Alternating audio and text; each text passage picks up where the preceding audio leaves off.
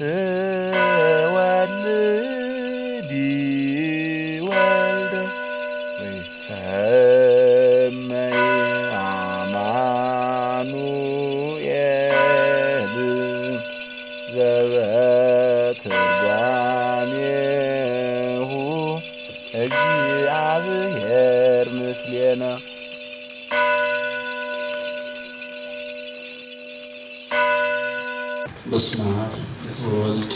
ወመንፈስ ቅዱስ አሐዱ አምላክ አሜን። ኦርቶዶክሳዊ ማያ ወይንም ማዕቀፈ እሳቤ ብለን እንነጋገራለን። ለምንድን ነው ማያ የምንለው?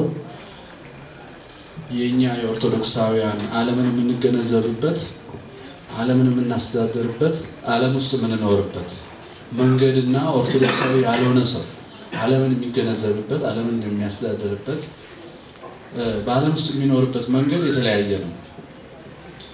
በዚህ በእኛ ዘመን ግን ችግር የሆነው ኦርቶዶክሳውያን ራሳቸው ልዩ መሆናቸውን የሚያዘነጋቸው ነገር መፈጠሩ ነው።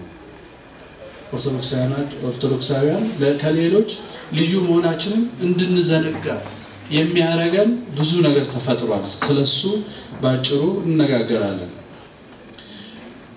ከዛ በፊት እኛን ልዩ ከሚያደርጉን ነገሮች ከብዙዎቹ ዋነኛውና ትልቁ ምን መሆናችን ነው? ኦርቶዶክስ መሆናችን ነው። ኦርቶዶክስ ማለት ምን ማለት ነው ስንባል ብዙ ጊዜ እንደምንመልሰው ቀጥ ያለች መንገድ አይደለም የምንለው፣ ቀጥ ያለች እምነት ነው የምንለው። ከዚህ ነው የሚነሳው ልዩነታችን።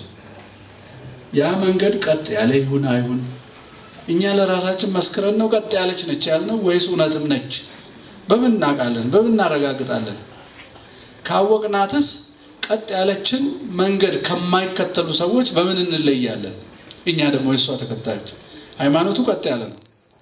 ቀጥ ያለውን ሃይማኖት የሚከተሉ ሰዎች ልዩ መገለጫቸው ምንድን ነው የሚለውን ነው የምንነጋገረው። በዮሐንስ ወንጌል ምዕራፍ 1 ከቁጥር 12 ጀምሮ ስትመለከቱት እግዚአብሔር የሰው ልጆችን በደል ለማጥፋት ምሕረት ለመስጠት መንገዱን ለመክፈት የጥል ግድግዳውን ለማፍረስ ከእናታችን ከቅድስት ድንግል ማርያም ሰው ሆነ። እንደዚህ ይላል መጽሐፍ፣ ቃል ስጋ ሆነ፣ ቃል ስጋ ሆነ ጸጋንና እውነትንም ተመልቶ በእኛ አደረ። አንድ ልጅም በአባቱ ዘንድ እንዳለው ክብር የሆነ ክብሩን አየን፣ ሰው ሆነ። ከፍ ብላችሁ ስትመለከቱት ለሰው ሁሉ የሚያበራ አሁን ስለ ማብራት ስናነሳ ስለ ማየት ነው አይደለም እና የምንነጋገር በር አካል እናያለን ማለት ነው። ስለዚህ የእኛ ማያ በክርስቶስ ብርሃንነት ነው። በሱ መንገድነት ነው። ራሱን የመንገድ ነኝ ስላለ ማለት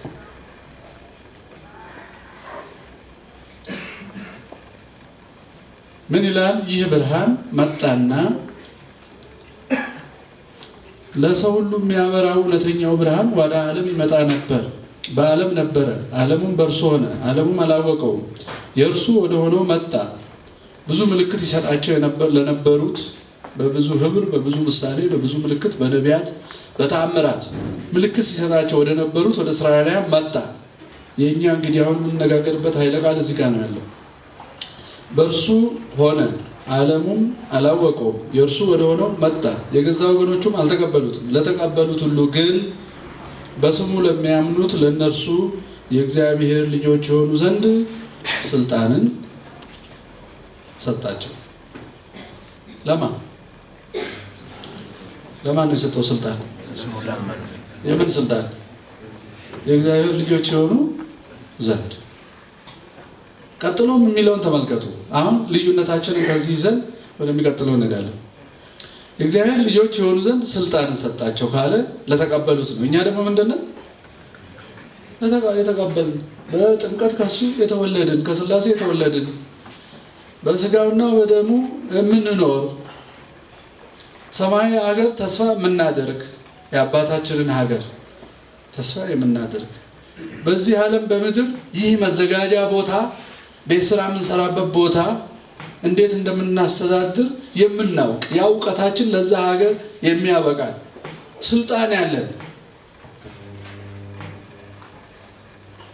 የአባታችን ስልጣን ያለን የእግዚአብሔር ልጆች የሆኑ ዘንድ ስልጣንን ሰጣቸዋል እና ይህን ስልጣን ያገኙ ሰዎችን ጠባይ ተመልከቱ። እዛው ጋር እነዚህ ሰዎች ስልጣን ያላቸው ሰዎች እነርሱም እነዚህ ሰዎች ስልጣን ያገኙ ሰዎች እነርሱም ከእግዚአብሔር ተወለዱ እንጂ ከደም ወይም ከስጋ ፈቃድ ወይም ከወንድ ፈቃድ አልተወለዱም። እኛ ከሴትና ከወንድ ፈቃድ አልተወለድንም። እናትና አባት አለን አይደል? ታዲያ ምን ማለት ነው? የስጋና ከሴትና ከወንድ የተወለድንበት ያ ፈቃድ በሁለተኛው ጥምቀታችን በሁለተኛው ልደታችን ምን ሆነ? ወደ አንድ አባት ወደ አንድ ቤት እንድንገባ ሆነ ማለት ነው። እናንተ የማታውቁትን ቋንቋ የሚናገር ሰው እዚህ በር ላይ ብታዩና እናንተን ቋንቋ የሚናገር ሰው ብታዩ እኩል ነው የውስጥ ቅርበታችሁ? የተለየ ቋንቋ የሚናገር ሰው ትንሽ አይርቅባችሁ?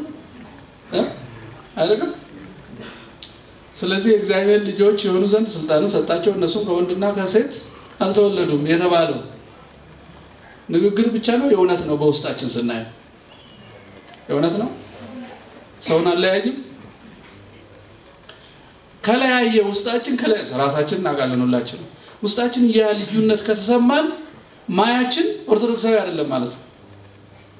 ወይ ፖለቲካዊ ነው፣ ወይ ፍልስፍናዊ ነው፣ ወይ ዘመኑ የከተተብን የጨመረብን አዲስ ማያ ነው፣ አዲስ አይን ነው፣ አዲስ መነጽር ነው።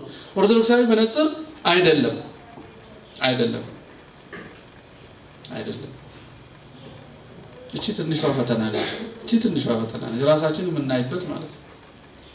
እኛስ ልጆች ነን። እኛስ ፖለቲከኞቹም፣ ጩኸቱም፣ ቴሌቪዥኑም፣ ኳስ ሜዳውም፣ ፌስቡኩም ነው የሚበክለን።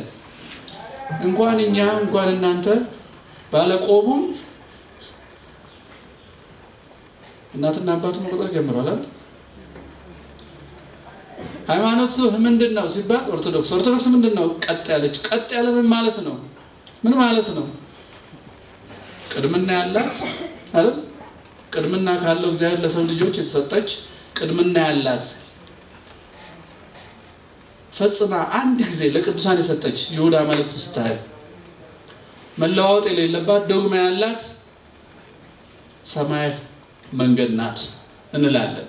ሰው ስላልሰራት ስለዛ መነጽር ነው የምናወራው እና ስለ መነጽር ትንሽ እናወራና ኦርቶዶክሳዊ ማያ ጋር እንመጣለን። ሶስት ሰዎች ከውጭ እየገቡ ነው። እነዚህ ሶስት ሰዎች እዚህ አዳራሽ እዚህ ቤተክርስቲያን መጥተው ያውቁ ለመጀመሪያ ጊዜ ዛሬ ደብረ ገሊላ ሰንበት ትምህርት ቤት ጉባኤ ልትካፈሉ በጣም የሚያስገርም መሰብሰቢያ ውስጥ በጣም የሚያስገርሙ ሰዎች ከዚህ በፊት አይታችኋቸው ማታውቋቸው ሰዎችን ስለምታዩ ኑ ተብለው የተጋበዙ ሰዎች ናቸው። እነዚህ ሰዎች ልክ ከመግባታቸው በፊት በር ላይ እንጠብቃቸውና በጥቁር ጨርቅ አይናቸውን እናስራቸዋለን። አዳራሹን እንዳያዩት ሲገቡ ልዩ ነው ስላልናቸው ማለት ነው። ቀድመን የሆነ ታሳቢ እንዲያደርጉ በአእምሯቸው ምን ዘርተናል? አንድ የሆነ ቲዮሪ ነገር ዘርተናል። የተለየ በኢትዮጵያ ውስጥ በዓለም ላይ የሌለ አዳራሽ ውስጥ ነው የምትገቡት ብለናቸዋል። እነዚህ ሰዎች ልክ ሲመጡ ሳያዩ እኛ የተለየን አይደለም ስናይ ያውቃሉ፣ ኢትዮጵያኖች ነን። ግን የተለየ እንድንመስላቸው መጀመሪያ አይናቸው ግጥም አድርገን በጥቁር ጨርቅ እናስራለን እንዳያዩ እና ሶስቱንም አምጥተን እዚህ ጋር እናቆማቸዋለን። እዚህ ፊታችን ፊታቸው ወደዛ እናዞርና እናቆማቸዋለን። ከዛ ከመፍታቴ በፊት ምን እላቸዋለሁ? አሁን ጨርቁን ስፈታ የምታዩትን ነገር ወደ ላይ፣ ወደ ታች፣ ወደ ጎን ዞር ዞር ብላችሁ እና ጻፉት፣ ግን አትናገሩ። ያያችሁትን ጻፉት እላቸዋለሁ። ጨርቁ እንደታሰረ ከኪሴ መነጽር አወጣና ሶስት መነጽር ሶስት ቀለም የተቀባ መነጽር አወጣለሁ። አንድ ቀይ፣ አንድ ሰማያዊና አንድ አረንጓዴ። ከዛ አይናቸው ላይ ያደርግላቸዋለሁ ከጨርቁ በላይ መነጽሩን እንዳያዩት ነው። መነጽሩን እንዳረኩላቸው እንዳያውቁ ደግሞ ክብደት የሌለው አረገዋለሁ። ግራቪቲው እንዳይሰማቸው ማለት ነው። መነጽር ማድረጋቸውን እንዳያውቁ አረግና መነጽሩንም አላዩም፣ እንዳረኩላቸውም አላዩም። አይናቸው ታስሯል። ከዛ ቀስ ብዬ አይናቸውን ጨርቁን ቀስ ብዬ ፈታና ከመነጽሩ ስር አወጣዋለሁ። ካወጣሁት በኋላ ምን ያያሉ? አረንጓዴ ያደረገው ሰው ምን ያህል? አረንጓዴ ሴቶች፣ አረንጓዴ ወንዶች፣ አረንጓዴ ጣሪያ፣ አረንጓዴ ወንበር አይደለም ከበሮ፣ ሁሉ ነገር አረንጓዴ ነው ለሱ። ይጽፋል፣ ይገርመዋል። እውነትም የተለየ አዳራሽ ነው የመጣሁት። አረንጓዴ ሰው አይቼ አላውቅም፣ አረንጓዴ ሴቶች አይቼ አላውቅም። ቀዩ ምን ይላል? ቀይ ሴቶች አይቼ አላውቅም። ሰማያዊስ? ሰማያዊ ወንዶች አይቼ አላውቅም። ሰማያዊ ጣሪያ አይቼ አላውቅም። ይቀጥላሉ። ሶስቱ ምን አዩ? ሶስት ነገር አዩ አይደል? ግን እኛ ሶስት ነን? አዳራሹ ሶስት ነው አይደለም? አሁን እኔ ደግሞ ቀለም የሌለው አለኝ። ነጭ የለበሱ ሴቶች ያለው፣ ሰማያዊ ያደረጉ ያለው፣ ጣሪያው ነጭ ነው፣ መሬቱ ቀይና ቡኒ ነገር ነው እላለሁ። እኔ ደግሞ እኔም ጽፋለሁ፣ አልናገርም ግን ለነሱ አሁን እኔ ጠያቂ ስለሆንኩ ቀይ ያደረገውን ሰው ምን አየህ እለዋለሁ። የሚገርም ነው፣ ሁሉ ነገር ቀይ ነው። አረንጓዴና ሰማያዊ ምን ይላሉ? አብዷል እንደ ሰውየው አይኑ አይ ሁሉም በልባቸው ነው የሚሉት። ባለ አረንጓዴው አረንጓዴ አይታየውም ማለት ነው ይላል። ባለ ሰማያዊ ሰማያዊ አይም ማለት ነው ይላል። ቀዩን ያማል በልቡ። ከዛ አንተስ ስለው ባለ አረንጓዴውን እንደ ሰውዬ ያመዋል መሰለኝ፣ አዳራሹ አረንጓዴ ነው እሱ ቀይ ይላል። ያመዋል መሰለኝ አረንጓዴ ነው ይላል። ሰማያዊ አንተም ራሱ ያመሃል ሰማያዊ ነው አይደለም። ሶስቱም አይስማሙ። መጽር እንዳረጉ አያውቁም። እንዲተያዩ አልፈቅድም። ፊት ፊት ለፊት ብቻ እንዲያዩ ነው የምፈቅደው። እንዲተያዩ አልፈቅድም። ምክንያቱም ውጭ ከለራቸው ተያይተዋልና እዚህ ከተያዩ እንዲህ አንተም ተለውጠዋል እንዳይባባሉና እንዳይነቁብኝ እንዲተያዩ አልፈቅድም። ፊት ለፊት እንዲያዩ ነው የማደርጋቸው። ከሶስቱ ሰዎች ውሸታም ማን ነው? ውሸታም ሰው የለም። ለምን? ያዩትን የተናገሩት ያዩትን ነው የተናገሩት። እሺ ከሶስቱ ሰዎች በትክክል ያየ ማን ነው? ሶስቱ አላዩ። ሶስቱም ውሸታም አይደሉም። ሶስቱም በትክክል አላዩ አይደል? እሺ ከሶስቱ ሰዎች እውነተኛ ማን ነው? እውነተኛ የለም። ትስማማላችሁ? ሶስቱ ሰዎች እውነተኛ ናቸው ትል ውስጥ እንዲህ ያደርጉ ሰዎቹ እውነተኛ ናቸው። እሺ መልሱ። ሰዎቹ ውሸታም ናቸው የምትሉ ውስጥ እንዴ እውነተኛ ውሸታምም አይደለም? ነው አልገባቸው። እሺ ሰዎቹ ውሸታም ናቸው የምትሉ ውስጥ አንድ ሰው እንዴት? ሰዎቹ ውሸታም ናቸው። እንዴት? ውሸታም ናቸው። ያዩትን ስለተናገሩ ውሸት ምንድን ነው? ኦ ሰማችሁት? ይህ ሌላ ጥሩ አስተሳሰብ ነው። እንትኑ ግን ቦታው ተቀላቀለ እንጂ ውሸት ማለት እውነት ያልሆነ ነገር ነው። እኔ ስለ ነገሩ ግን አልጠየኩም። ሰዎቹ ውሸታም ናቸው ወይስ አይደሉም ነው። እውነት ተናገሩ እኮ አላልኩም። እኔ ሰዎቹ ውሸታም ናቸው ወይስ እውነተኛ? እውነተኞች ናቸው። ሰዎቹ እውነት ነው የተናገሩት። አዎ እውነት ነው የተናገሩት። ያዩትን ነው ለእነሱ እውነት ነው። አሁን ጥያቄውን ስንቀይረው እውነትን በትክክል አይቶ የተናገረ ከሶስቱ ማን ነው? ማንም አይደል? ማንም እውነትን በምልአት አላየም። ሰዎቹ ግን እውነተኞች ናቸው። እውነትን ግን አላዩአትም። አያጋጥምም? እንዲህ አይነት በህይወት አያጋጥመንም?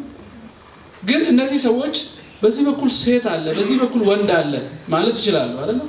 በከለር ነው የተጣሉት። ስለዚህ የሚጋሩት እውነት አላቸው ማለት ነው። የላቸው ይሄ ጣሪያ ነው ሲሉ ትክክል ናቸው፣ ግን አረንጓዴ ነው ሲሉ ነው የሚጣሉት። የእውነት ሽርፍራፊ አላቸው ማለት ነው። ሙሉ እውነቱን ነው ማየት ያቃታቸው።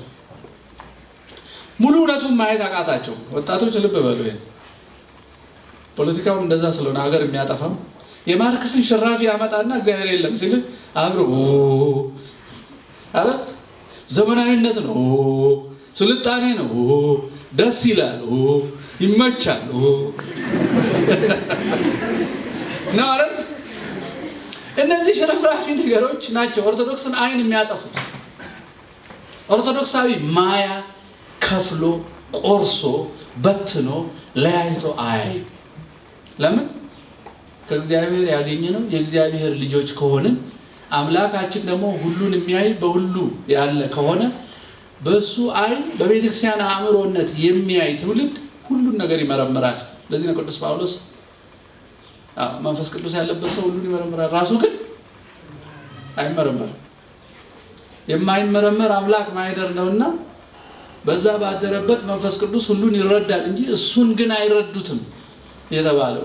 እኛም ዘመኑ አዳዲስ ትምህርት ሲያመጣ መነጽራችንን እናቆሽሽና አልበርት አንስታይን እኮ እንዲህ አለ የተቦጨቀችዋን እናመጣና ልክ እንደነዚህ መነጽር ማለት ነው። ይሄ ከዛም ከዛም ጠቅሰን መኖር ከጀመርን ኦርቶዶክስ መነጽር ተበላሽ የለም። ልብ በሉ እሺ። የኔ መነጽር ደግሞ ቀለም አልተቀባም። ቀለም ስላልተቀባ ሶስቱን ምን? ሰው አረንጓዴም አይደለም፣ ሰማያዊም አይደለም፣ ቀይም አይደለም። ቀይ ካኒቴራ ያደረገ ሰውዬ ግን ይታየኛል። ሰውየው ግን ፊቱ ቀይ አይደለም፣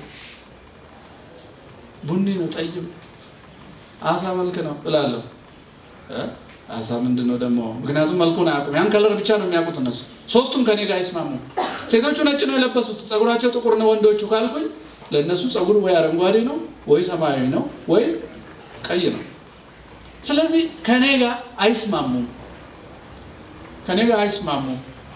ከኔ ጋር የማይስማሙ ከሆነ እኔ ወንጌላዊ ብሆን፣ እኔ ኦርቶዶክስ ብሆን፣ እኔ ካህን ብሆን፣ እኔ አባት ብሆን፣ እኔ ወጣት የሰንበት ተማሪ ብሆን መነጽራቸው የተበላሸ የኢትዮጵያ ወጣቶችን መነጽር ምን አድርጌ ነው ንጹህ እንዲሆን የማደርገው የሚለውን ጥያቄ እጠይቃለሁ ማለት ነው።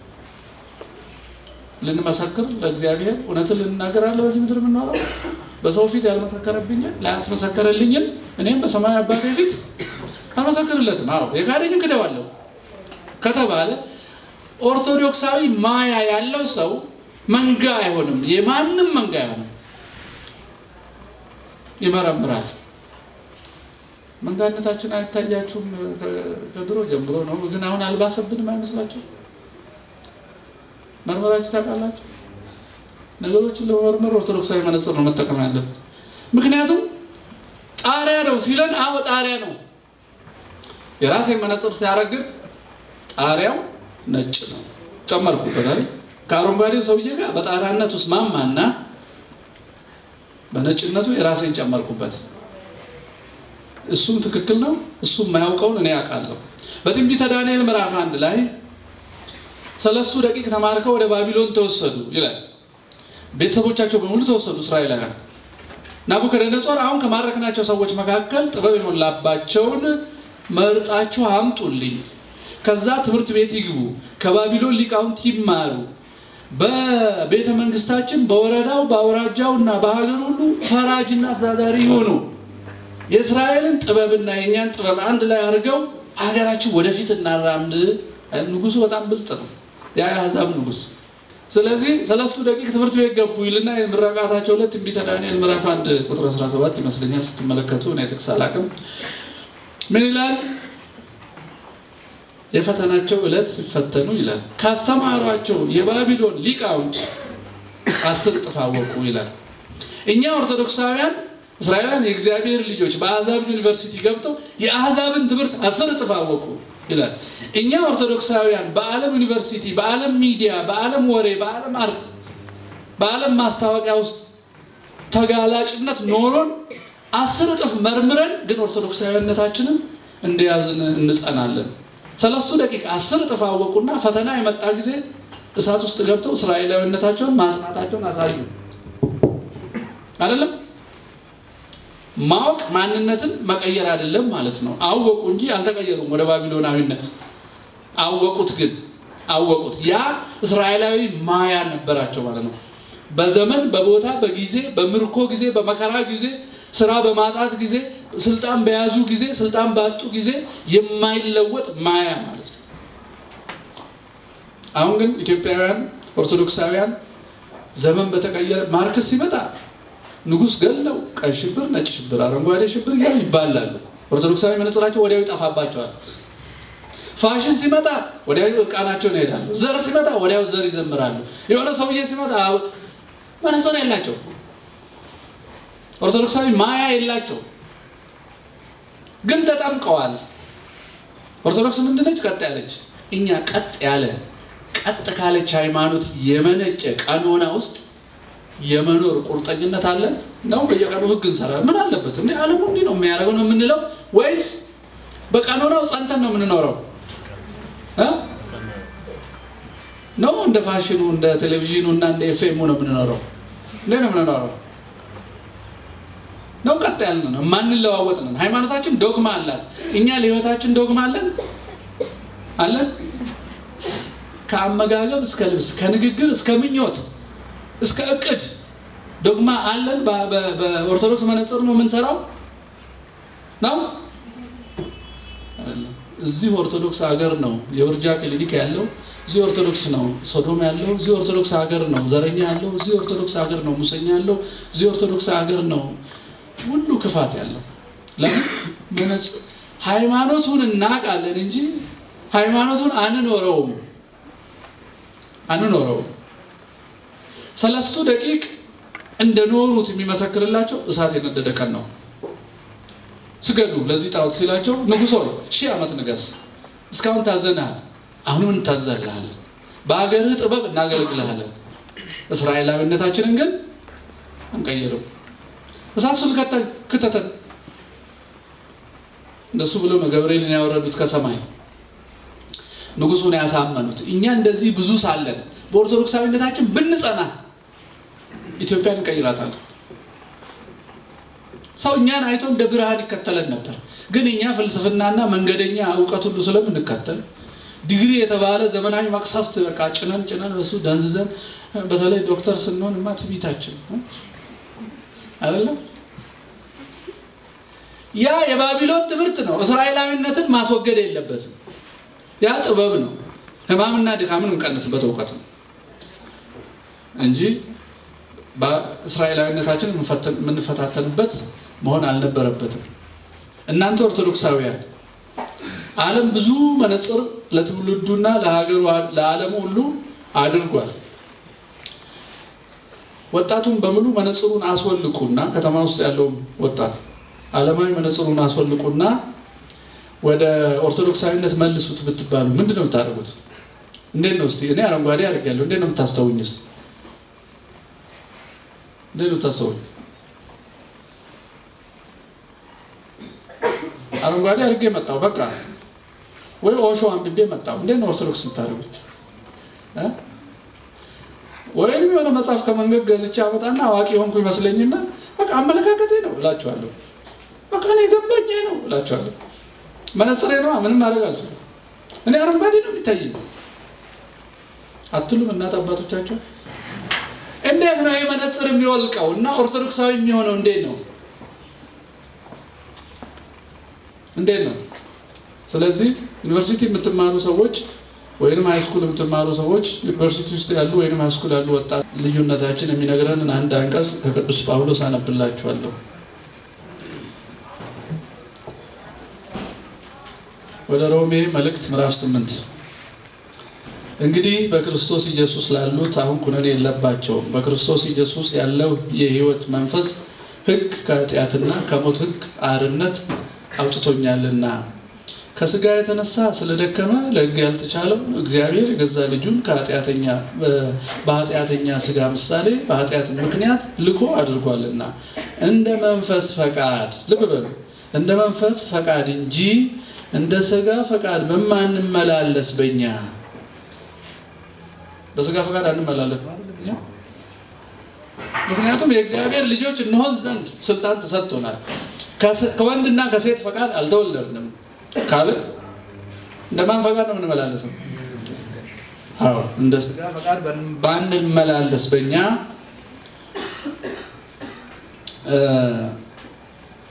የሕግ ትእዛዝ ይፈጸም ዘንድ ኃጢአትን በስጋ ኮነነ። እንደ ስጋ ፈቃድ የሚኖሩ የስጋን ነገር ያስባሉና እንደ ስጋ ፈቃድ የሚኖሩ የስጋን ነገር ያስባሉና እንደ መንፈስ ፈቃድ የሚኖሩ ግን የመንፈስን ነገር ያስባሉ። ስለ ስጋ ማሰብ ሞት ነውና ስለ መንፈስ ማሰብ ግን ሕይወትና ሰላም ነው ይላል። አብዛኛውን ጊዜ ስለምንድን ነው የምናስበው? መነጽር መነጽር እንዴት ጠቃሚ እንደሆነ እዚህ ላይ ነው የምናየው። አሁን ጠዋት ከእንቅልፍ ስንነቃ ምንድን ነው የምናደርገው? አሁን አስቡ፣ ስለ ራሳችሁ አስቡ። እኔ የምናገረው እየሰማችሁ ስለ ራሳችሁ አስቡ። ጠዋት ከእንቅልፌ ስነቃ እኔ ከአልጋዬ ዞርና ጫማ አደርጋለሁ። መሬታችን ይቀዘቅዛል እንዳይቀዘቅዘኝ። ከዛ ወደ መታጠብ እሄዳለሁ፣ እጄን እታጠባለሁ። ከዛ ፊቴን በደንብ ያለው መስታወት፣ ጺሜን ቅርጽ ቀርጸዋለሁ። ከዛ ሳሎን ገብቼ ትልቅ መስታወት አለኝ። ካፖርድ ከፍቼ ልብስ እየመረጥኩ ዛሬ ልበስ ዛሬ ነበረ የምሄደው። እነዛ ሰዎች እንዲህ አይነት ልብስ የሚለብስ ሰው ያከብራሉ። ቆይ እስኪ ቀይረዋለሁ ደግሞ። ከዛ ጫማ አረጋለሁ። ከዛ ቁርሴን በላለሁ። ከዛ መኪና አሞቃለሁ። ከዛ እነሳለሁ። ከዛ ወደ ስራ ሄዳለሁ። ከዛ ቁጭ እላለሁ። ዝም ብዬ እስከ እንቅልፍ ያለውን የራሴን ውሎ ስመለከት ከእንቅልፍ ከነቃው ማታ መልሼ እስክተኛ ድረስ እግዚአብሔር ትዝ አይለኝም። ግን ልበላ ስል በስመ አብ ወመንፈስ ቅዱስ አሐዱ አምላክ ይሄን ማዕድ ባርክልን ምናምን እንትን ሆኖብኛል። ዝም ብሎ ልምድ ቤተክርስቲያን ጋር ስደርስ ብዬ አልፋለሁ። ኦርቶዶክስ ነኛ። ከሰኞ እስከ ዓርብ ይሄን አረግና ቅዳሜ ስዝናና ውዬ እሑድ ደግሞ አስቀድሳለሁ። እሑድ ታዲያ ቅዳሴ ወደ ሰማይ ያወጣኛል፣ እመሰጣለሁ። ከዛ እንደወጣው በር ላይ ነጠላዬን አጥፌ ቦርሳ ውስጥ ከተዋለሁ። ኦርቶዶክስንም ቦርሳ ውስጥ ከታታለሁ። ከዛ በኋላ እንደ ሕግ ነው የምኖረው እንደ ዓለሙ። አሁን እኔ ማን ነኝ? እንደኔ ናችሁ እናንተ ነው የተለያችሁ ናቸው? እኔ መስታወት የማይበትን ደቂቃዎች ሁሉ መዝግቤ መዝግቤ ስደምር ውዳሴ ማርያም ከምገልጥበት ይበልጥብኛል። ከፀጉሬ ጋር የሚጫወትበት ሰዓት የኦርቶዶክስ ነው። ስለ ጺሜ መከራዬን የማይበት ኦርቶዶክስ ነው። ስለ ሱሪ መከራዬን የማይበት ኦርቶዶክስ ነው። ምንድን ነው ሃይማኖት? ኦርቶዶክስ ነኝ። ኦርቶዶክስ ምንድን ነኝ? ቀጥ ነኝ። ቀጥ ያለ ሰው የሚለብሰው እንደዚህ ነው። ቀጥ ያለ ሰው የሚያስበው እንደዚህ ነው። ቀጥ ያለ ሰው ጠዋት ከእንቅልፉ ሲነቃ የሚያስበው እንደዚህ ነው። ወደ ስራ ሲሄድ የሚያስበው እንደዚህ ነው። የሚሰራውስ እንደዚህ ነው። የሚናገረውስ እንደዚህ ነው። የማንም መነጽር ነው ያደረግነው? ኦርቶዶክስ ነው። እስቲ በዚህ ሚዛን እንመዘንና አይ እንደፈለክ በል እንጂ እኔ ኦርቶዶክስ ነኝ። በመጠመቅ ነን ተወልደናላ። የእግዚአብሔር ልጆች እንሆን ዘንድ ስልጣን ተሰጥቶናል። በዚህ አንሰጋም፣ አንፈራም። በዚህ በህይወት ግን ስንመዘን ኦርቶዶክስ የሆነ ሰው እስቲ እጁን ያውጣል። ምንም ሳይጠራጠር ሃይማኖታችን ኦርቶዶክስ ነው፣ እሱ አንጠራጠርም። እዚህም የሰበሰበን እሷ ነችና የለም የለም ኦርቶዶክሳዊ ማያ የሚጠቀም ሰው የለም የለም። እንደ ኦርቶዶክስ እንናገራለን፣ እንደ አህዛብ እንኖራለን። በእግዚአብሔር አምሳል ተፈጥረናል ብለን በዳርዊን ሳይንስ ዝንጀሮ ነን ብለን እንመላለሳለን። መነጽራችን ተበላሽቷል። ስለዚህ colored ያልሆነ መነጽር ማለት ቅድምና ያላት ሰው ያልተጠበበባት እግዚአብሔር ፈጽሞ ለቅዱሳን አንድ ጊዜ የሰጣት ሃይማኖት ነች። እቺን ሃይማኖት የሌላቸው የተለያየ መነጽር ያደረጉ ሰዎችን እንዴት ነው የምታስወልቋት? ነበረ ጥያቄ አይደለም። አንተ ብትሆን እንዴት ነው የምታስወልቀኝ? እኔ አረንጓዴ አድርጌ ድርቅ ስል ምን ታደርገኛለህ? አረንጓዴ ነው ጣሪያው እልሃለሁ። ምን ታደርገኛለህ?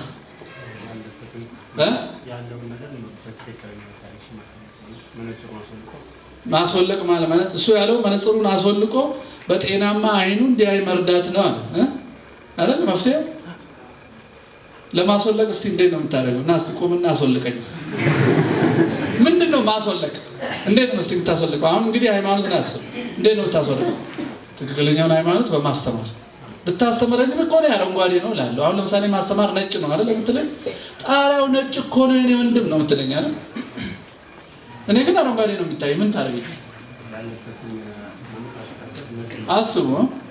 እንዴት አድርገህ ነው የምትቀይረኝ? እኔ መነጽሬን እኮ አላወልቅም። እንዳረግ ሁሉ አላውቅም እኮ ነው። አረንጓዴ ማድረግን እኮ አላውቅም። ደግሞ እርግጠኛ ነኝ እኔ confidence አለኝ። ተምር ያለው በዛ ላይ ተምር ያለው አመለካከቴ ነው። ደግሞ አየዋለሁ። አረንጓዴ ነው ጣሪያው። እንዴት ነው ታሳየ? ነጭ ነው። ከመጀመሪያ ጀምሮ ታሪኬን እንዴት እንደተለወጥኩ ምን እንደተማርኩ ትነግረኛለህ። እንድጠራጠር ማለት ነው። የራሴን አይን እንድጠራጠር ታደርገኛለህ። ከዛ ምን ሆኜ ነው ብዬ አይኔ ራሱ ስዳብሰው እንዴ ማን ያደረገልኝ ሲል ስለዚህ መጽሐፍ ምን ይላሉ? በዮሐንስ ወንጌል ራእይ ምዕራፍ 3 ቁጥር 18 ባለጠጋ እንድትሆን ይላል። ዝም ብለህ ተማርኩ አወቅኩ አትበል።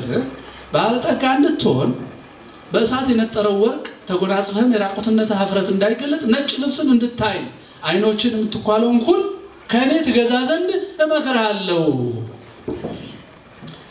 የማየውን የማሸተውን የምዳስሰው ለሕይወትና ለጥቅም ማድረግ ከፈለግ ቤተክርስቲያንና ቅዱሳኑን ስማቸው እንጂ ኤፍኤም፣ ሬዲዮ፣ ፊልም እና ተራ የመንገድ ላይ መጽሐፍ እየሰማ አመለካከቴ ነው አትበል። አመለካከት ቀለም ያልተቀባ ንጹህ መነጽር እንዲሆን ከፈለግ ኦርቶዶክሳዊ ማያ እንዲኖር ከፈለግ ከዓለም የምንቃርመውን ልንዘብትበት ወይንም ልናስወልቅ እንደ መነጽር ከሆነ ስህተቱ ነው የምናውቀው እንጂ ልንመራበት አይደለም። ልብ በሉልኝ statement የምናውቀው ልንመራበት ነው። የምናውቀው ልንፈውሰው ነው። የኔ መነጽር አረንጓዴ መሆኑን ካላወቀ ወንድሜ ይናደድብኛል አይደለም። አሁን ግን አይናደድብኝም። አረንጓዴ ነው ጣሪያው ስል መነጽሩን አይቶታል፣ ያዝንልኛል። ይህ መነጽር እንዴት ነው የማስወልቀው ይላል እንጂ ምን አይነት ደደብ ነው ይህ መናፍቅ አይለኝም። ሲምፕሊ ይሄ ልጅ መነጽሩን እንዲህ ካልኩኝ አይን እንደነቆልክ ይለኛል። መነጽር ቆሻሻ ነው ስለው ባህልን ነካ ይለኛል። ምን አድርጌ ላስወልቀው ብሎ ያስባል። ስለዚህ ምንድን ነው የሚያደርገው? ፈጽሞ ፍቅሩ ወደ እኔ እየጨመረ ነው። በፍቅር ይዘኝና ፍጹም መተማመንን ከፈጠረ በኋላ ቆሻሻ ነው ቢለኝ እንኳ እንደ ጠላት አልቆጥረው መሄድ ልጅ አይደል? ፍቅር ውስጥ ገብተናላ። ስለዚህ ኦርቶዶክሳውያን የሌሎቹ ወጣቶች መነጽር የምናስወልቀው በመንቀፍ በመስደብ በማራቅ አይደለም። የሚቀጥለው field ማለት ነው ኢትዮጵያ ውስጥ ወጣቶች የሚቀጥለው field መነጽር የማስወለቅ training ነው መውሰድ ያለብን። የፖለቲካ መነጽር፣ የዘር መነጽር፣ የዝሙት መነጽር፣ የሆዳምነት መነጽር ከህዝቡ አይን እያወጣን የምንጥልበት ስልጠና መውሰድ አለብን። ቤተ መንግስቱ ቤተ ክህነቱ የሚቆሽሸው መነጽሩ ስለተበላሸ ኩሉም ከኔ ግዛ። ዕብራውያን 13 ሰባት የእግዚአብሔርን ቃል የተናገሯችሁን ዋኖቻችሁን? አይ ኦሾን አስቡ፣ ግድ የለም ያ የምናደንቀውን ጋዜጠኛ አስቡ፣ ዋኖቻችሁን አስቡ። በዘመን አይለወጥም፣ በስልጣኔ ምክንያት አይዘነጉም። የእግዚአብሔር ስለሆነ ማለት ነው። እግዚአብሔር አያረጅማ፣ ቃሉም አያረጅም። ሶስት መነጽሮችን ነግራችሁ ተዋለሁ፣ practically ማለት ነው። ሶስት መነጽሮች በዓለም ላይ አሁን ዓለምን እያጠፉ ያሉ እኛንም የሚያወናብዱንና ኦርቶዶክሳዊ መነጽራችንን የሚያቆሽሹ ትምህርቶች አሉ። አንደኛው ዋነኛው secularism ነው። ዋነኛው ነፍሰ ገዳይ እና ኑፋቄ secularism ነው። እስላም አይደለም፣ ጴንጤም አይደለም። እስላም ነው እንዳለ መጽሐፍ ስላለው መጽሐፉ ከኛ ጋር አይመሳሰልም። ቆይ እንላለን አይደል? ጴንጤ ነው እንላለን። እመቤታችንን ሲሳደብ ጌታን ጓደኛው ሲያደርግ ስላሴን ሲሳደብ እናገኘዋለን። ቆይ እንለዋለን። secularism ማንን ሲሰድብ አይታችሁ ታውቃላችሁ? አይታችኋል? ስንፈልገው ማመን ይችላል ማለት ነው ብሏል። ግን systematically መብትን ይወስድብሃል። ማሰብ ነው የሚወስደው። አታስበ ይወስድብሃል። በዲግሪ በትምህርት በኮርስ በሚዲያ በዘፈን ያደርግና በስቴዲየም በኩል ያደርግና አማኑኤል በዓል ስታከፍል ስራ ፈትነት ነው በዓል በዝቷል ይልሃል። ስቴዲየም ስትውል ስፖርት ነው ዘና እያሉ ነው ይላል። ወጣቶች አልባሌ ቦታ እንዳይውሉ የስፖርት መዝናኛ ሰርተናል። ሲዘምሩ ደግሞ ስራ ፈተዋል። ግልጽ ነው፣ አካሄዱ ግልጽ ነው።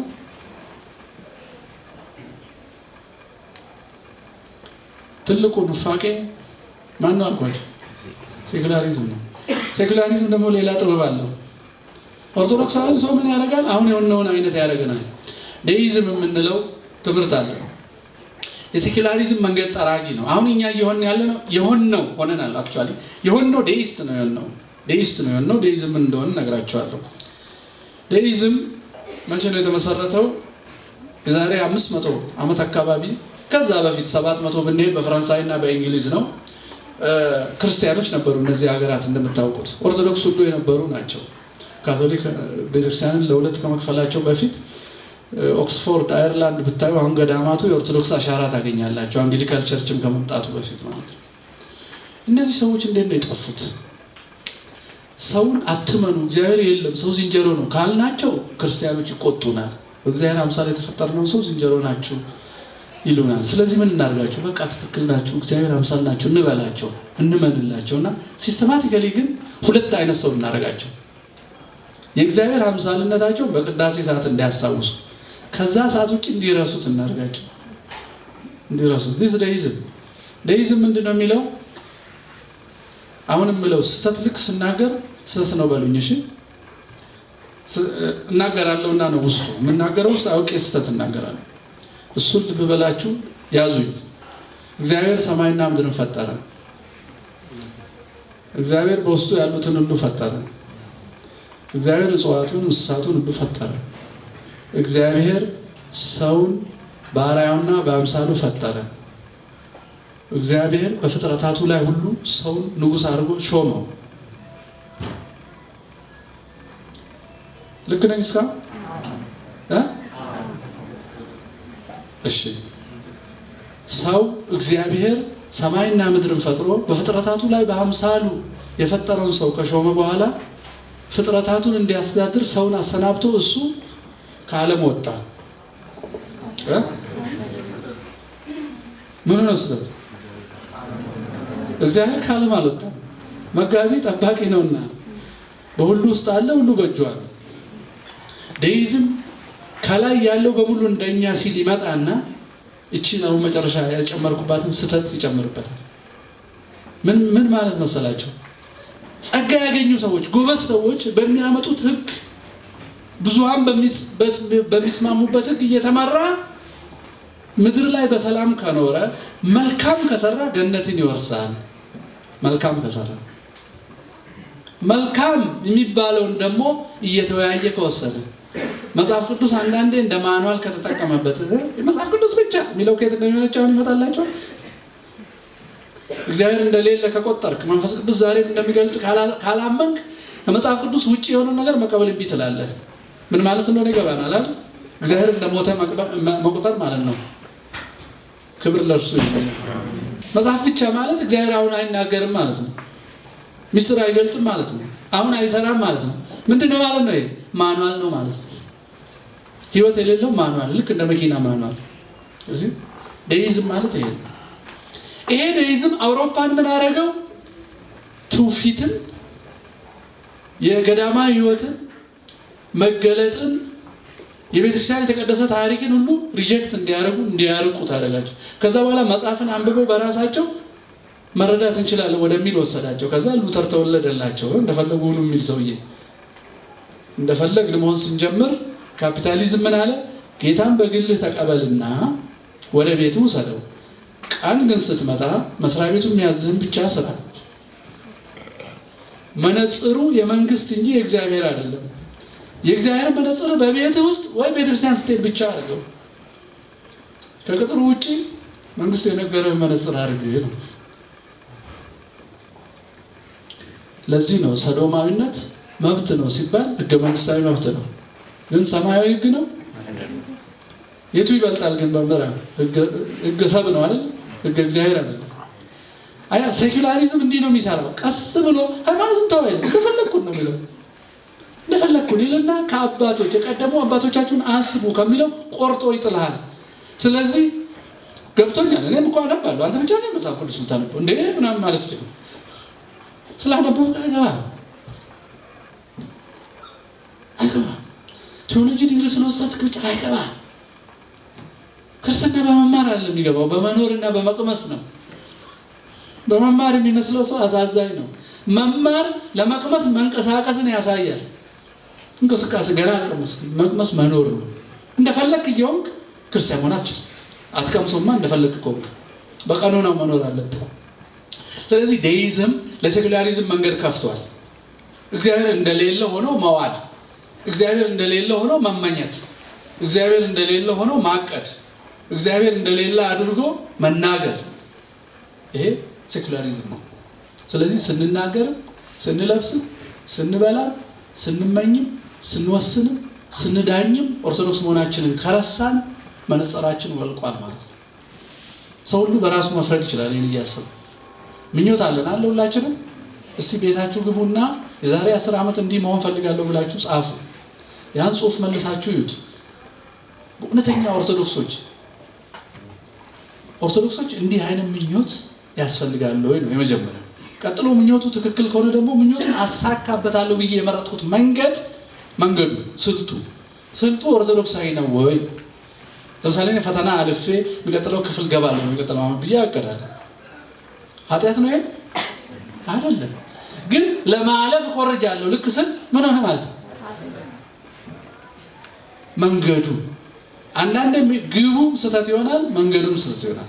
አንዳንዴ ግቡ ኃጢአት ሳይሆን ግቡን አሳካበታለሁ ብዬ የምመርጠው መንገድ ምን ይሆናል? ኃጢአት ይሆናል። አንዲት ሴት አሁን እድሜ ወደ ሰላሳ ተጠግቷል፣ አሁን ካላገባው ደግሞ መውለድ ሊያመልጠኝ ነው። ሄ ወንዶቹ ደግሞ ይህን ሰሞን ምን እንዳደነዘዛቸው አይታወቅም። አይጠብሱ፣ አይናገሩ፣ አይጠይቁ። ሁሉም ደግሞ ክርስቲያን ስላልሆኑ ነው መሰለኝ ዝሙት እንጂ ትዳር አይጠይቁም። ስለዚህ እኔ በራሴ መንገድ ከዛሬ ጀምሮ የሆነ አክቲቪቲ ማድረግ አለብኝ ብላ አንድ ሴት ብትወስድ ኃጢአት ነው? ፍለጋ ባል ፍለጋ ጀምራለሁ ብትል ኃጢአት ነው ነው አይደለም። ባል ነው ፈልጋለሁ ያለች እንጂ አመንዝራለሁ አላለች። ባል ፈልጋለሁ ነው ያለችው። ባል ደግሞ የሰራው እግዚአብሔር ሕጉ ነው፣ መንገዱ ነው። ኃጢአት የሚሆነው መቼ ነው? ባል ለማግኘት ብዙ ወንዶችን እቀማምሳለሁ ካለች ነው አይደለም። ያኔ ነገር ተበላሽ። መፈለግና መጠየቅ ኃጢአት አይደለም። የምንፈልግበት መንገድ ምን ይሆናል? ይበላሻል። አሁን secularism ምን ያደርገናል መሰላችሁ? ይሄ መንገድ ነው የሚያበላሽብን። መንገዱን ከ secularism እንወስዳለን። secularism አለባበስ ሊል ይችላል፣ የልብስ ዲዛይን፣ ቀለም አቀባብ ምናምን ሊል ይችላል። መንገዱ መንገዱ አይን አገላለጥ ሊል ይችላል። ስልጠና ይሰጣል ማለት ነው። ወንዶችን ለመማረክ አንደኛ እንዲህ አድርጊ፣ ሁለተኛ እንዲህ አድርጊ የሚል የሆነ መጽሐፍ ታነብና ትጀምረዋለች ማለት manual መጽሐፍ ቅዱስን ትታ የፈረንጅ manual ለክ መጠቀም ስትጀምር መከራ ውስጥ ትገባለች። መነጽራችንን መጠበቅ አለበት። ስለዚህ አሁን ለምሳሌ ጥያቄ ስንጠይቅ ሁል ጊዜ ስህተት የሚጀምረው ስምንት ጥያቄዎች አሉ የሰው ልጆች የሚሳሳቱባቸውና ጤናማ የሆነ ሰው ሁሉ የሚጠይቃቸው ጥያቄ ጥያቄዎቹን ጻፉና መጽሐፍት ተመልከቱ። ኦርቶዶክስ እነዚህን ጥያቄዎች እንዴት ትመልሳለች በሉ እናንተ ራሳቸው አጥኑት፣ ጊዜ ስለ እያንዳንዱ ለመመለስ። ይሄ ፊሎሶፊ ለሚማር ሰው በጣም የተለመደ ስለሆነ በጣም የተለመደ ነው። ብዙ ጊዜ ስድስት ጥያቄ ነው በፍልስፍና የምናውቀው፣ ግን እኛ ኦርቶዶክሳዊ ስንሆን ትውፊትና ታሪክን ስለምንጨምር ሰባት ስምንት እናደርጋቸዋለን። የመጀመሪያው reality መጠየቅ ነው። ይሄ ፍጥረት ከየት መጣ? የ cosmology የምንለው ማለት ነው። ፍጥረት ከየት መጣን ስንመልስ ፈጣሪ ያለን እምቢ ብለን በድንገት ነው ካል ስህተት እንጀምራለን። መነጽራችን ምን ይሆናል ማለት ነው? መበላሸት ይጀምራል። ፍጥረትን define ስናደርግ በራሱ ነው የመጣው ካልን እንደ ምዕራባውያን ፍልስፍና የመጀመሪያው የመጀመሪያው ስህተት በሱ ይጀምራል። ሕፃንም ሲወለድ እኮ ይጠይቃል እሱ ምንድን ነው እሱ ምንድን ነው ነው የሚለው ልጅ። እያደገ ሲሄድ ነው። ለምን የሚለው? ህፃን ለምን ሲል አይታችኋል? አይ ምንድን ነው ነው? ዝም ብሎ እንትኑን መረዳት ነው። አሁን። creature ፍጥረትን ዝም ብሎ ይረዳል። ያላየ ሰው ዝም ብሎ እናቱን ሁሌ ስለሚያይ ብዙ ጊዜ እናቱ ላይ አያተኩርም። ሌላ እንግዳ ሲያይ ዝም ብሎ እናቱ ላይ ሆነው ሌላ እንግዳ ነው የሚያይ። ማናት ምንድን ነው ነው የሚለው። ከዛ ሲያድግ እቺ ሴትዮ እኛ ቤት ለምንድን ነው የምትመጣው? mommy ይላል። አይደል? ለምን ሌላ ነገር ነው። advanced የሆነ ጥያቄ ነው። የሰው ልጅ ሁሉ እነዚህን ጥያቄዎች ይጠይቃል። formally ባይሆንም ጠይቆ ነው የሚያልፈው ሳያውቀው። ተሳስቶ ከመለሰ መነጽሩ ይበላሻል። ሰው ምንድን ነው ሁለተኛው ጥያቄ ነው። እኔ ምንድን ነኝ የሚለውን ስንመልስ የእግዚአብሔር አምሳል አርያውን ለመንሳት የሚተጋ ተጋዳይ መሆኑን ከረሳ ሰው ዝንጀሮ ነው evolutionary ነው ካለ ስሜቱን እየተከተለ ነው የሚፈላሰፈው። ከዛ በኋላ ፍልስፍና በሙሉ ይበላሽበታል። ፍጥረት ምንድን ነው? ሰው ምንድን ነው? ቀጥሎ ይሄ ተጨባጩን ዓለም እንዴት ነው የምንረዳው? ዓለም ቁስ እንዴት ነው የምንረዳው? እንዴት ነው relate የምናደርገው? ከሞትን በኋላ ምንድን ነው የምንሆነው? በስብሼ እቀራለሁ ካለ እንደሰት ይላል። በትንሣኤ እኖራለሁ ካለ ፍትወቴ ልግዛ ይላል። አይደለም ላስተዳድረው ይላል። እንደፈለግኩ ልሁን አይችል ደስ ይላል ብሎ አይመራም። ከሞት በኋላ ዋጋ አለ ካለ መልካም ዋጋ የሚያሰጠውን ነገር ነው ዛሬ የሚያደርገው እንጂ ደስ ይላል ብሎ አያደርግም። ደስ እያለው ይተዋል። ለምን? ከሞት በኋላ ላለው ዘመን። አይ ሰው ሞቶ በስብሶ ይቀራል ካለ ግን ተስፋ ስለሌለው ከዛ ወዲህ ደስታ ይፈልጋል። በመጠጥ ይደሰታል፣ በዝሙት ይደሰታል፣ መጥቶ በመዘረርና በማሸነፍ ይደሰታል፣ በዝና ይደሰታል። መሸነፍንም መዋረድም ግን የሚቀበለው ከሞት በኋላ ክብር እንዳለ ሲያስብ ብቻ ነው። ትዕቢት ይጠፋለታል። ያን ጊዜ እቺ ጊዜያዊ መሆኗን መዋረድ ጊዜያዊ መሆኗን ያውቃል። secular psychology ግን ልጅ ስታሳድግ confidence እንዲኖረው ሲል እኛም አብረን confidence እንዲኖረው ሳይኮሎጂ ዲግሪ እናደርግና ይ secular psychology እና ኦርቶዶክስ ሳይኮሎጂ የተለያየ ነው። የኦርቶዶክስ ሰው confidence ኡ የሚመነጨው በዮሐንስ ወንጌል ምዕራፍ 15 እንደተጻፈው እኔ የወይን ግንድ ነኝ፣ እናንተ እሱን ለተቀበሉት እግዚአብሔር ልጆች የሆኑት ዘንድ ስልጣንን ሰጣቸው። ይህ ስልጣን ራሱ confidence አያሰጥም? ማንን ትፈራለህ? በዚህ confidence ሌላ ጥገና አልፈልግም። እኔ ሌላ የ secular psychology ጥገና አልፈልግም። ስለዚህ ሰው ምንድን ነው ከሞት በኋላ ምን ይሆናል የሚለውን ስንመልስ ከተሳሳትን መነጽራችን መቆሸሽ ይጀምራል። ክፉና ደጉን የምለየው እንዴት ነው? ethics የምንለው ሞራል የምንለው ግብረ ገብነት የምንለው ደግና ክፉን የምለየው ምንድን ነው? ኦ የተማሩ ሰዎች ጲላጦስ ማን ነው ፕላቶ እንዲህ ብሎ ሶቅራጥስ እንዲህ ብሎ እከሌ እንዲህ ብሎ ኒቺ እንዲህ ብሎ ብለን በግለሰብ ፍልስፍና ላይ መልካምና ደግነትን ለመለየት ከሞከርን ያ ፍልስፍና የሚያሸንፍ ሌላ ትርጉም ሲመጣ የመልካም ትርጉም ይቀየራል። መልካም እግዚአብሔር ነው ካልን አይቀየርምና የእኛ የመልካም ትርጉም ዘላለማዊ ነው፣ የክፉም ትርጉም ዘላለማዊ ነው፣ የሰይጣን ስራ ነውና። ስለዚህ የሞራል ስታንዳርዳችን ቋሚ ይሆናል። በቦታና በጊዜ በዘመን አይቀያየርም። conditional አይደለም፣ ሁኔታን አይከተልም። ዘላለማዊና ቋሚ ነው። ዩኒቨርሲቲ ስለገባው ሌላ ሀገር ስለሄድኩ ፈረንጅ ሀገር ስለሄድኩ አለባበሴን አልቀይርም፣ አነጋገሬን አልቀይርም። ምናልባት ለአገልግሎት ዳንስ ቤት መሄድ ካለብኝ ለአገልግሎት የዳንሰኞቹ ልለብስ እችላለሁ። ምን ነፍሳትን ማርኬ ወደ እግዚአብሔር በረት ላመጣ ስራ ተሰጥቶኝ ዝም ብዬ ለመምሰል እንደ እንስሳ ከሆነ ግን አላረግም። ዝም ብዬ አላረግም። በምክንያት ግን አረጋለሁ። ምክንያቱም ኦርቶዶክሳዊ መነጽርን ለሌሎቹ ለማድረግ የሚያገለግል ምክንያት ከሆነ አረጋለሁ አረጋለሁ። የሰው ልጅ ታሪክን በሚመለከት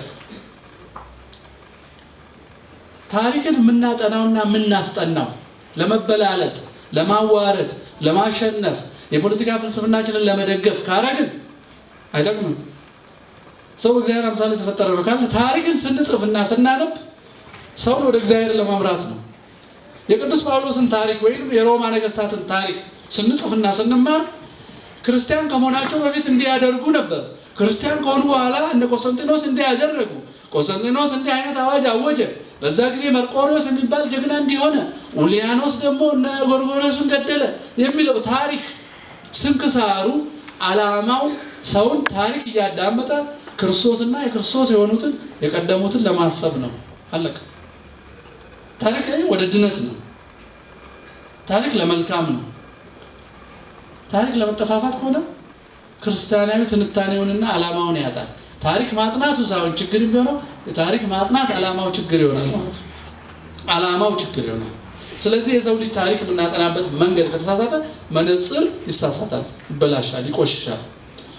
ቀጥሎ ያለውና የመጨረሻው ሰባቱን ጥያቄ መልሰን ስንጨርስ በትክክል በኦርቶዶክስ አይን ከጨረስ በኦርቶዶክሳዊ መነጽር ይኖረናል። ከዛ የግል ህይወታችንን መተንተን እንችላለን። እኔ የምማረው ዲግሪ ሳገኝ እንዲህ ላረግ ነው፣ እንዲህ ማረገው እኔ እንዲህ ስለሆንኩ ነው፣ ኦርቶዶክሳዊ ስለሆንኩ ነው ማለት ያስችለናል። ኦርቶዶክሳዊ መነጽራችንን ጥለን የምንማረው የምናቅደው የምንሰራው ፖለቲካም ይሁን ፍልስፍናም ይሁን ህግም ይሁን ዳኝነትም ይሁን ትዳርም ይሁን ተግሳጽም ይሁን ምክርም ይሁን ኦርቶዶክሳዊ መነጽሩን ከጣለ መጨረሻው አያምርም። ጊዜያዊ ብልጠት ይሆናል፣ ጊዜያዊ ውጤት ያስገኛል እንጂ ህይወት አይሆንም። ዓለም የተቸገረው ለዛ ነው። አሁን አሜሪካ በጣም ሰልጥኗል። እንዴት እንደተቸገረ አንድ ዳታ ላሳያችሁ። ይህ መጽሐፍ ላይ ያለው ለዚህ ምሳሌ ይሆነኛል። ሰው ተሳስቶ ከጀመረ ቢሰለጥንም ስልጣኔ ሀብት ከሆነ ቴክኖሎጂ ከሆነ ቦምብ ከሆነ አይሮፕላን መስራት ከሆነ እንደፈለጉ መሆን ከሆነ አሜሪካኖች የሆኑትን እንመልከት። ምክንያቱም በዓለም አንደኛ ሀብት ስላላቸው የአፍሪካና የአውሮፓን ሀብት ደምራችሁ ከአሜሪካ ያንሳሉ። የአሜሪካ ሚሊተሪ የዓመት በጀት ከአፍሪካ ጠቅላላ በጀት ይበልጣል። ናቸው። ግን ይሄ እድገት ይባላል ማለት ነው። ግን ምን እንደሆኑ ተመልከቱ። ይሄ ጥናት የምታዩት ግራፍ ይታያቸዋል። የመጀመሪያው 1965 እስከ 1995 30 ዓመት የነበረውን የሀገሪቷን የኢኮኖሚ፣ የሳይንስ፣ የእውቀት፣ የጥበብ እድገት ነው የሚያሳየው። የዛሬ የዛ በ1965 የአንድ አሜሪካ ነፍሰ ወከፍ ገቢ 81 ሺህ ዶላር አካባቢ ነው። ነፍሰ ወከፍ ማለት አንድ ሰው በአመት የሚያገኘው average 81 ሺህ ዶላር ነው። ከ30 ዓመት በኋላ 21 አካባቢ ሆነ፣ ሶስት እጥፍ ሆነ። በዚህ 30 ዓመት ውስጥ ሳይንስም አድጓል፣ እውቀትም አድጓል። ዩኒቨርሲቲዎቹ በጣም የተራቀቁ እውቀቶች አምጥተዋል። የስነ ልቦና ምርምርም እንደዚሁ አድጓል? አድጓል። ሀገሩ በጣም ይሄ ምንድን ነው IT knowledge የ neuroscience brain እንዴት እንደሚሰራ መረዳት የሰውን brain በ microchips manipulate ማድረግ ሰው ምን እንደሚያስብ በ remote ሀሳቡን መቀየር ሁሉ የሚቻልበት ዘመን ላይ ደርሰናል። ታውቃላችሁ።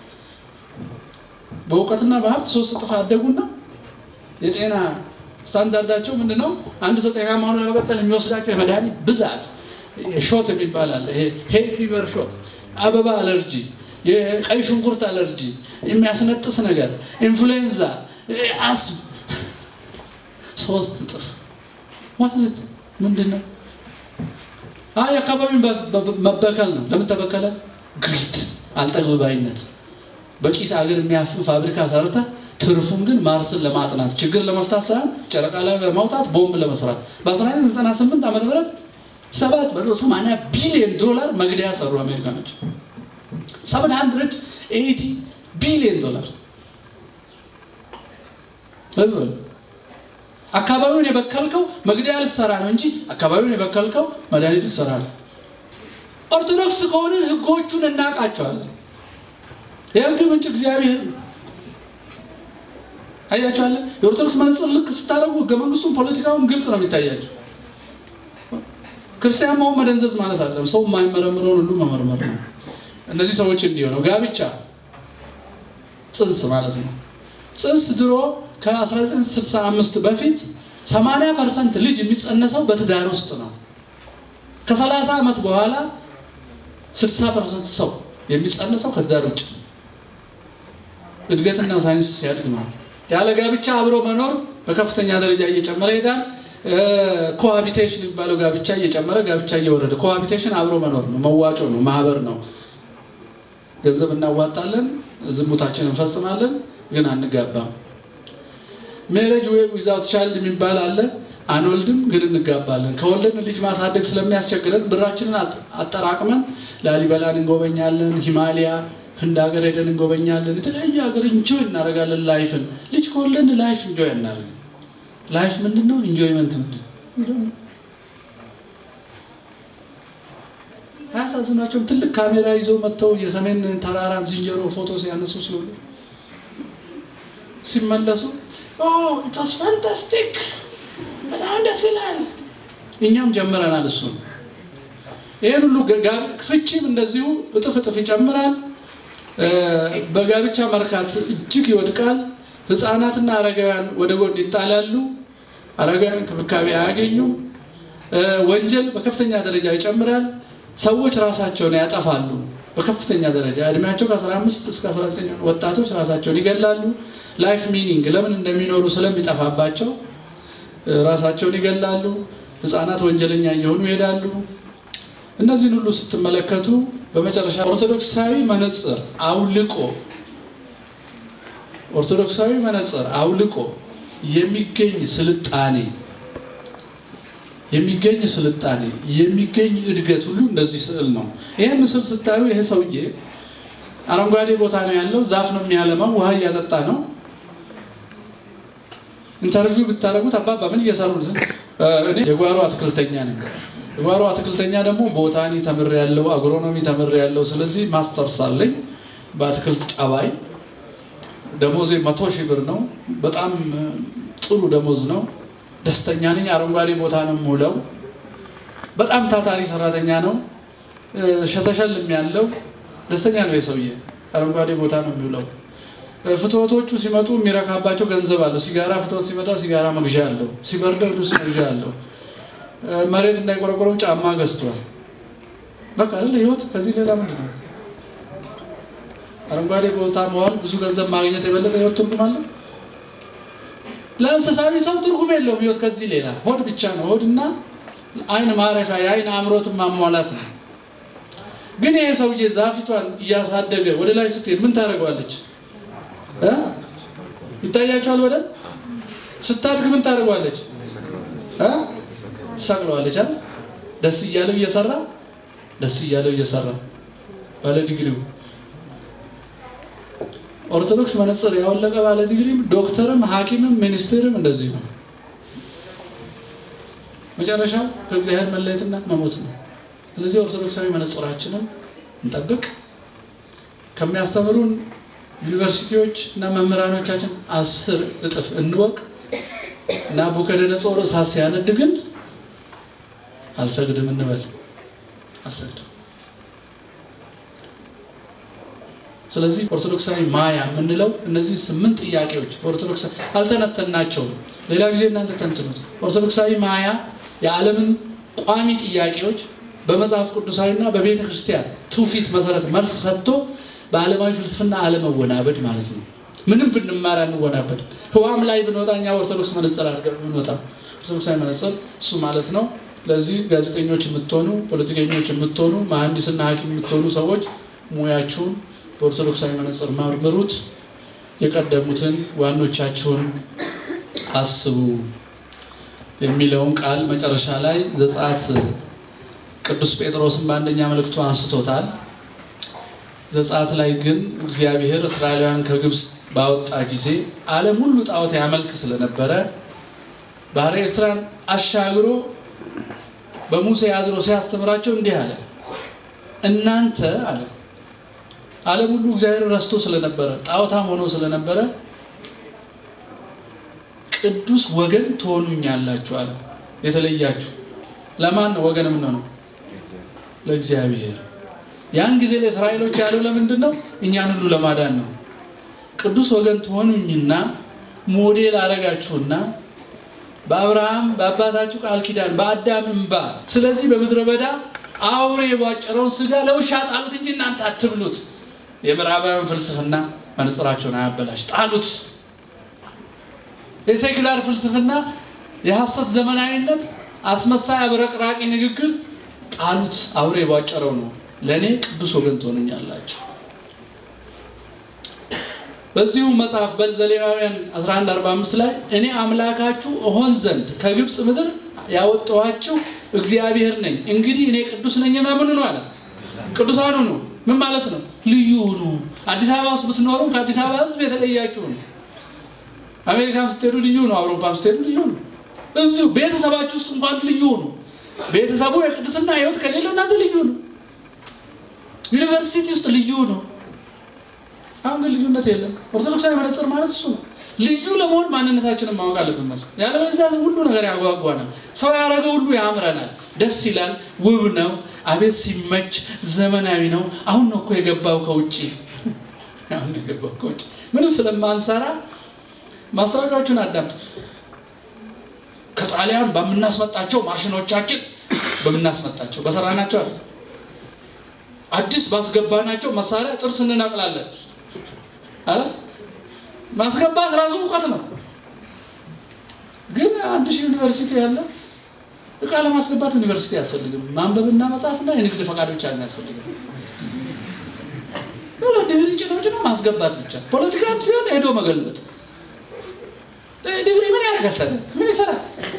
ማንበብና መጻፍ በቂ ነው ለኢትዮጵያዊ የሚገለብጥ ከሆነ ሁሉ ነገር import ማለት እህል ማምረት ሲያቅተን አፈሩ እህል አያፈራም ሲባል ማዳበሪያ ነው መድኃኒቱ። ከየት ይምጣ? ከኖርዌይ። ማን ነው recommend የሚያደርገው? እኔ እርሻ ዲግሪ ያለኛ recommend ለማድረግ ዲግሪ ያስፈልጋል። ማዳበሪያ ለመስራት አይደለም ዲግሪ ያገኘሁት እኔ እኔ agricultural engineer ነኝ። እውነቴን እኮ አባቴ ሄድና የበቆሎ መረጣ እየመረጠ ስንት ሺህ ዓመት ያኖረውን በቆሎ አመራረጥ ቶቶ ምርጥ ዘር አለ ብዬ ከላቦራቶሪ ያመጣና ኢትዮጵያን አጠፋለሁ። አባቴን አሽከር ማድረግ ስፈልግ ዘር ከለክለዋለሁ። ለዚህ ነው ዲግሪ የወሰድኩት። ኦ ዳማከሴና እንክን የሚባል መድኃኒት አለ። እኮ አይታወቅም። ቶ ቶ ቶ ዶክተሩ ያዘውን ብቻ ተጠቀምልና መድኃኒቱ እውቀቱ ሲጠፋ መድኃኒት ማቀብ አደርግበታለሁ። ዶክተር የምትሆነው ወይም ፋርማሲስት የምትሆነው የኢትዮጵያ መድኃኒት አጥንተህ ልኩን እንድታቅ ነው። መድኃኒት መሆኑን አባቶችን አገሩ። ልክ እንኳን ማወቅ አይችልም። ያሁኑ ደግሞ መድኃኒቱን እነሱ አወቁ። ልኩን እኛ ማወቅ ነበረብናል። ፈረንጅ አሽጎ ያመጣል፣ እንግሊዝኛ ተጽፎበታል ምናምን ሊን ለመጨረሻ ላይ ኦክስሊን ምናምን ስሊን ሲል እንዴት ነው የሚያደርገው? ማታ ባህል stop ደስ በደንብ እናስብ። ኦርቶዶክስ እንሁን፣ መነጽራችን እናስተካክል። እውቀቶቹ መናቅ ያለም እውቀቱ የራሳችን መሆን አለበት መሆን አለበት። እንግዲህ እኔ እግዚአብሔር ቅዱስ ነኝና ለእኔም ትሆኑ ዘንድ ከአሕዛብ ለይቻቸዋለሁና ቅዱሳን ሁኑ ስለተባልን አምላካችንን ትእዛዙን የሞተልንን አምላክ ክርስቶስን አስበን ስልጣናችንን ሳንዘነጋ ከሱ ልጆች የሆኑ ዘንድ ስልጣን አላቸው ስለተባለ እሱን አስመስግነን እኛም በቀኙ ለመቆም እንድንበቃ የእናታችን የቅድስት ድንግል ማርያም አማላጅነት የቅዱሳን መላእክት ተራዳይነት አይለየን። እግዚአብሔር ይጠብቀን። ዘመኑ ክፉ ስለሆነ ከዚህ ክፋት በላይ የምናስብበት የምናስተውልበት ኃይል ይስጠን። እግዚአብሔር ይስጥልኝ።